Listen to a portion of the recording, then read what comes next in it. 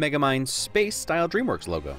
And a logo to movie transition to maybe even impress Edgar Wright? So a couple of things here. This movie is just like the king of expectations subversion. It's a comedy, so maybe you don't have a ton of expectations, but still. Megamind leaves his broken Kryptonian knockoff homeworld while missing his Destiny proclamation. You are destined While starting a rivalry with a much more super looking neighbor. All while their planets are spectacularly sucked into some kind of gorgeous black hole vortex of death just for a gag. A baby! How thoughtful. Oh, yes, yes, I saw it and thought of you. Our baby can fly. Yes, yes, nothing but the best for you, darling. Generosity. Metro Man warning his adoptive mother not to tickle him too much. A little character building by literally building Minion's first suit as a young tyke. I learned how to dehydrate animate objects and rehydrate them at will. And setting up the Chekhoviest gun that ever Chekhoved. He would win some. I would almost win others. Optimism. What a different villain origin story. The entire idea feels so fleshed out. The reminder that his entire life has been spent in prison with the murals in his cell. You never get the feeling that Megamind resents his life. It just is. He's just the bad guy. You'll never change, and you'll never leave. You're fun. J.K. Simmons is fun. That's funny. Never thought Metro Man was the gloating type. Ha! Because he actually isn't. The continuity in this film is astounding. His heart is an ocean that's inside a bigger ocean. Descriptiveness win. And I'd be watching you like a dingo watches a human baby. Hmm. Malicious, stalkery, evil, and side shadowing. Okay, so this is something that I love about this film. Its ability to poke fun at the silliness of an invisible car. Not only should everyone be able to see the light refracting around it, but it just hit a guy and is leaving a huge wake of destruction. But they still use all these silly comic book tropes as part of the narrative successfully. J.K. Simmons is always a win.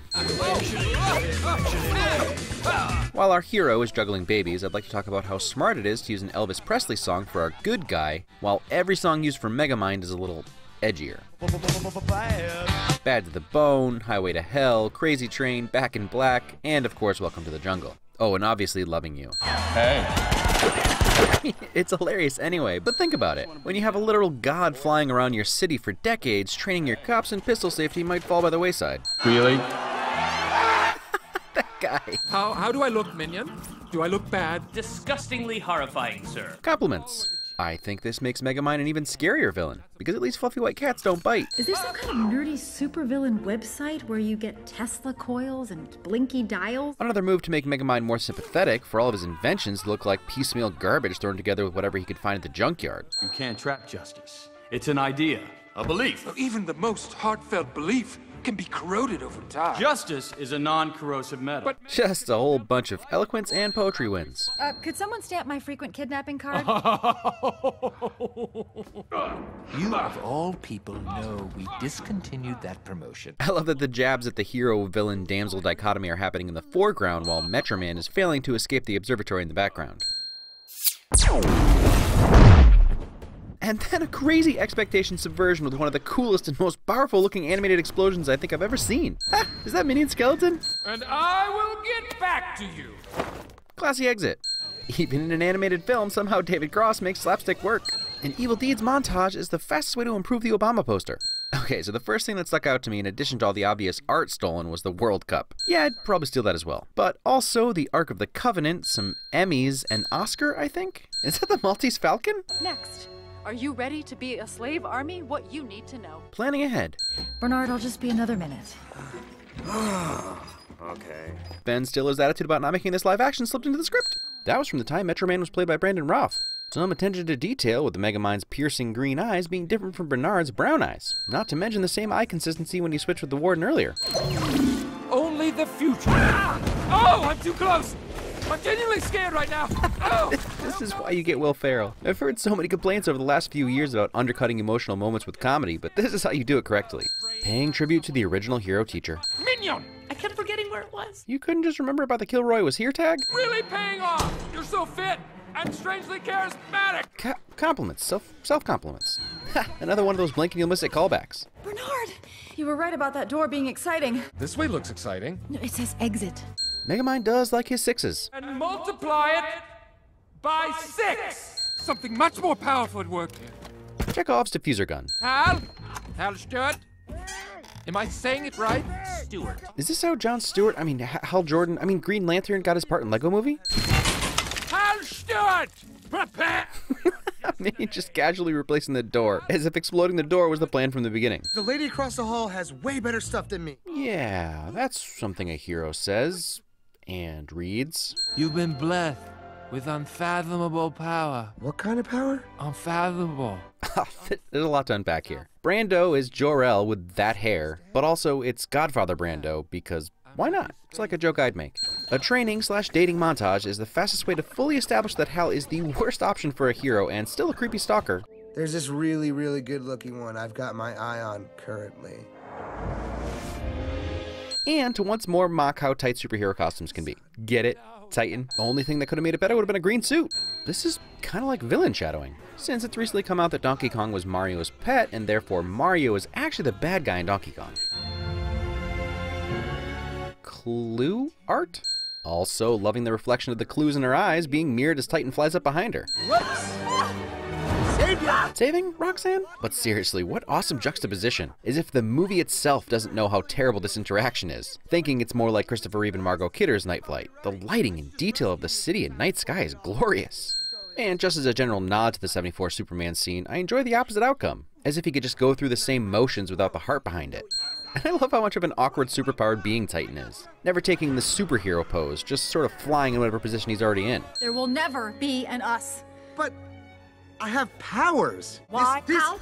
this, Just this take a isn't deep right. breath and listen You're to me for a supposed to be with me. And sort of a solidification of what's wrong with Hal. Somewhere between nice guy syndrome, where he thinks he's owed a relationship, and just a straight narcissistic stalker who doesn't actually see Roxanne as anything more than property. It's a great deconstruction of the nerdy guy finally finding some confidence in getting the girl. You can't also be a terrible human. And the cat rehydration scene was all set up earlier with the storm clouds rolling in. Man, oh man, I think DreamWorks gives Pixar a run for their money with these water effects. And this was eight years ago. The individual drops and how they interact with the characters, the waves on the street. Is that a leash? That's a leash. Taking Megamind's outfit to the next level.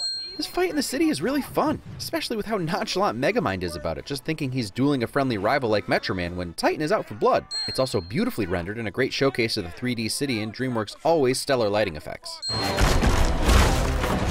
Consider yourself Hulk busted. That's what Iron Man says, right? And Megamind, this one's for Space Stepmom. You lied to her. I mean, technically he did lie to Minion, so he deserves that. Brainbots to the rescue. It's made from copper. You're powerless against it. It's the very same metal used to defeat. First hint at the true fate of Metro Man. I need your help Why do you need my help? because you're the smartest person I know. More compliments and admitting when you're wrong. No. Oh, oh my giant blue head! Self realization. Metro Man's alive. Some tiny details with the cup rings on the bureau. I mean, look at the hairs in his beard being displaced by Megamind's hand. you can tell Megamind had Minion paint the X in the observatory. This is probably my favorite sequence in the movie. It plays into the ridiculousness of their rivalry and how much of it is just what they do. Metro Man could have killed Megamind at any time, obviously. He has no weaknesses. It's also one of the more fun visuals. Also, holy crap, prepare to have your mind mega blown. Metro Man actually blips out for a single frame and appears behind Megamind in that opening scene. Tyler Durden would be proud. That way I could keep my logo. Ha, he showed off his super speed again. Did you miss it? He wasn't holding a guitar, and then he was. One of my favorite parts of BVS was when Bats is punching Superman and it slowly stops having an impact. And I'm starting to think they stole that from Megamind. Grab some ray guns, hold him sideways, and just go all gangsta on him. That is exactly what Tina Fey would do. So Hans Zimmer did this score with Lorne Balfe, and there have been some decent moments here and there, but this track, I'm the Bad Guy, is the first track to really stick out. he doesn't even know his own name, slash, if he's actually taking that as his villain name, that's slightly cooler. Megamind. Wait, I'm sorry, you're gonna change the channel from a water skiing squirrel on the Ocho? Ron Burgundy would be disappointed. I know the warden has blue eyes, so. Oh, Minion. You fantastic fish, you. Reconciliation. Wait, oh, wait, wrong movie. Wait, why is Minion's robot suit a gorilla? And there is no Queen of England. Monarchy lessons. Just not a super one. Yeah? What's the difference?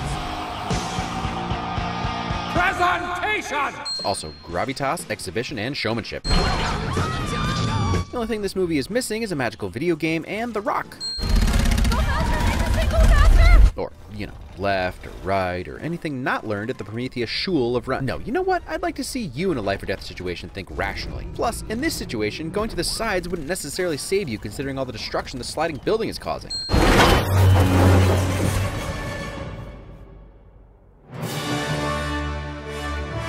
Three things. Number one, now that's an entrance. Number two, with such a triumphant, satisfying score. Number three, Let's have a little respect for public transportation. I love that Megamind knows Metro Man so well, he even knows what kind of Goody Two Shoes quip he'd use in this situation. Wait, where did Goody Two Shoes come from? Like, bad guys only wear one shoe?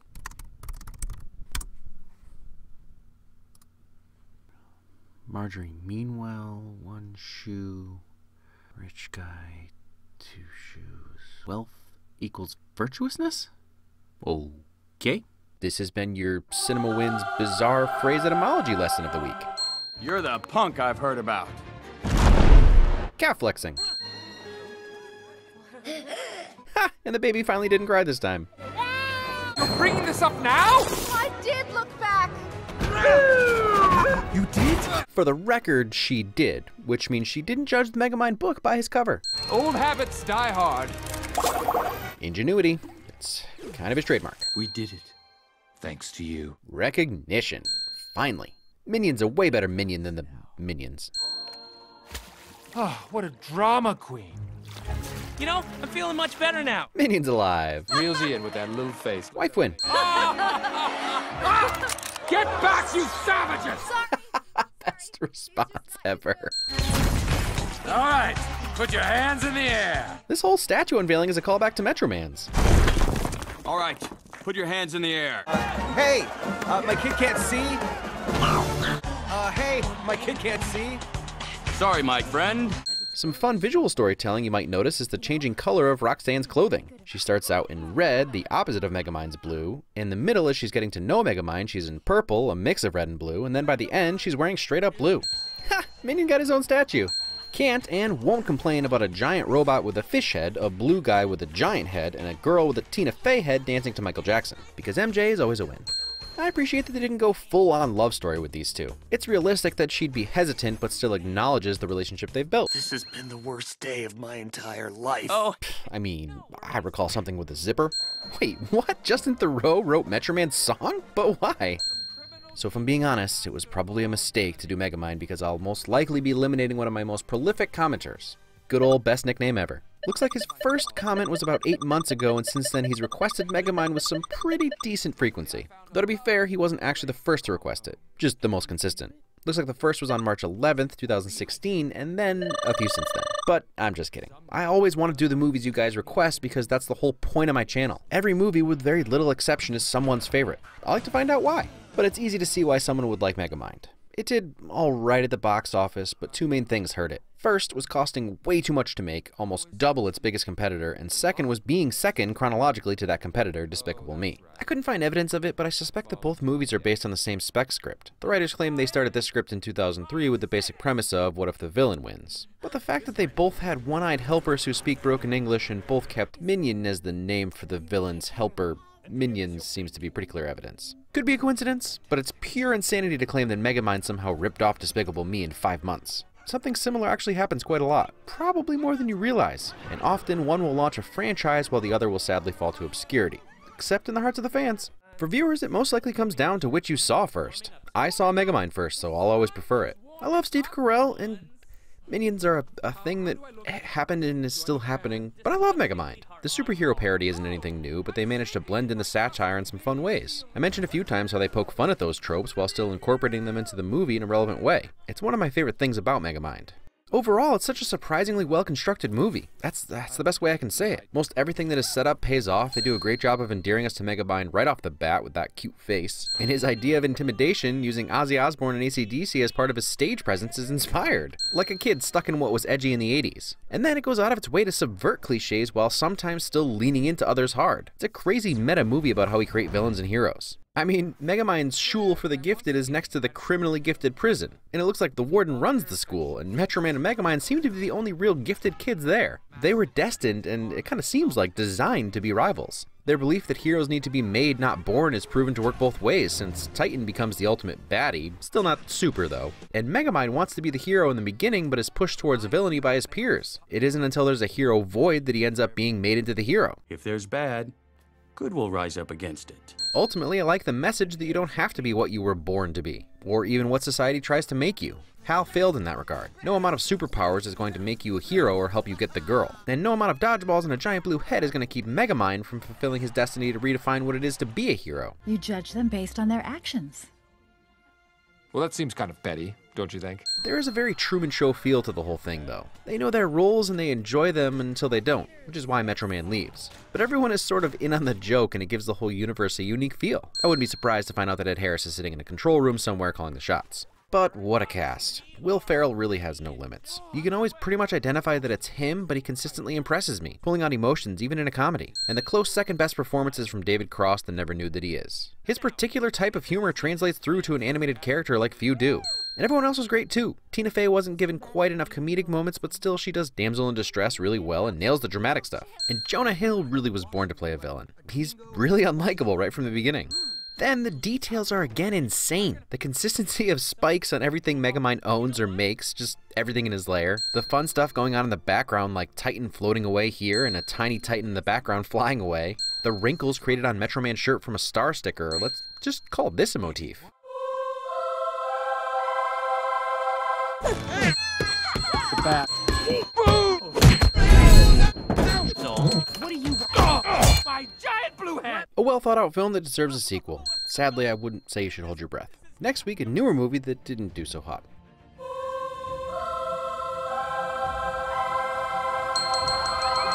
At a strange place called Chewel. Puppet corn, spider, atrocity, revanche, moodings, Melancholy. Stern! Olo.